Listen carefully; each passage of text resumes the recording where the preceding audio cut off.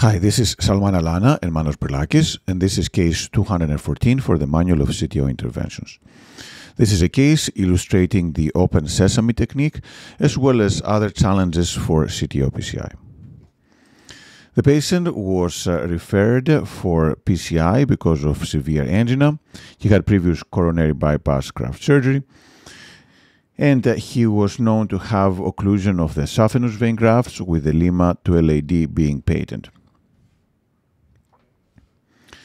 This is his um, um, coronary angiogram with the native RCA that has a CTO. The distal vessel is filling through collaterals from the left. The Lima is patent and is filling the LAD. And uh, there is significant disease in the native uh, left coronary artery. There is a significant distal left main disease, significant lesion into the first diagonal, and a CTO of the circumflex. So the question here is about revascularization and whether we should uh, perform PCI of the right coronary artery or the circumflex first. We can see here that there is some epicardial collaterals filling the circumflex, but again, severe left main disease, and there is also significant disease in the LAD and the diagonal. Our decision was to try the circumflex first because uh, the circ seemed to be more recent, and then going to the right coronary artery CTO would likely need retrograde crossing that could cause significant ischemia given the severe left main disease. So how to approach this lesion? The challenge here is that we have the LAD, we have a large ramus branch, but we don't understand exactly where the circumflex is starting. So we have an ambiguous proximal cap, but we do see that the length of the occlusion is relatively short because we have the retrograde filling from lateral collaterals. The distal vessel is small, diffusely diseased, and the epicardial collaterals do not seem to be very favorable for the retrograde approach. So our plan was to go with antegrade wiring using IVUS to clarify the proximal cap ambiguity and then uh, um, use retrograde, but again, we were not sure that these collaterals would be crossable. And finally, use ADR as the last resort because there was a bifurcation of obtuse marginal and circumflex at the distal cap. We tried to do IVUS, but IVUS could not be delivered. So we wired into the ramus and wired into the LAD, and then balloon angioplasty with uh, a 2 millimeter balloon. And this is what Open Sesame is about. This ballooning actually restored some antegrade uh, flow into the circumflex. This is the example of an Open Sesame technique. What essentially we do is we advance a wire into the side branch, which is next to the proximal cap. We inflate there, and that can sometimes uh, restore some flow into the occluded vessel and clarify the ambiguity, as was the case in this patient. Now, pay close attention on the anatomy here. We do have this obtuse marginal branch that comes on top, and then we have the circumflex as well. We advanced a Sion black guide wire through a turnpike LP microcatheter, and that wire actually went down the anticipated course of uh, what seemed to be the obtuse marginal branch. We then used a Sasuke dual lumen microcatheter.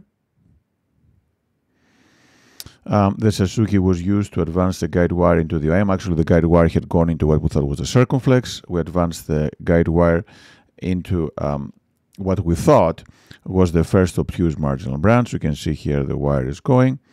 And then we decided to balloon, so we did a balloon inflation into that first OM. Oops, that was a problem.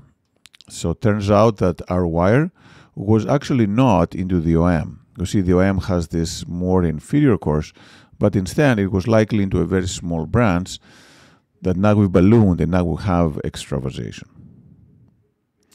So now the plot thickens, now we have um, a complication with actually not having a wire into the obtuse marginal branch. So what we did is we used the Sasuke again, and then uh, a workhorse um, guide wire and we were able to cross into the first uh, obtuse marginal branch. And then uh, we left the wire in the top branch and since the extravasation was continuing, even though we did not have any effusion by echo, we decided to treat this. So we delivered two coils, 2 by 20 millimeters, into this uh, small branch through the turnpike LP. And this is the nice thing about the Axium coils. These are 0.014 coils and can be delivered through any standard microcatheter. The next question is how to treat these bifurcations. And this is a little more complex because we do have multiple bifurcations here. We do have uh, the OM circumflex bifurcation. We have this LAD uh, ramus and circumflex essentially a trifurcation. And the question is how to treat it. And uh, what we decided to do, because the angulation was favorable, is to uh, place a T-stent. So stent T-stenting into that ramus branch, and then place a stent into the circumflex, jailing that OM that didn't seem to have significant ostial disease, all the way back into the left main. So here is the stent uh, goes all the way from the mid circumflex into the left main. And then uh, we performed uh, proximal optimization with uh, a 4.0 millimeter NC balloon. We rewired into the ramus branch where we had placed the previous 10 and did a kissing balloon inflation.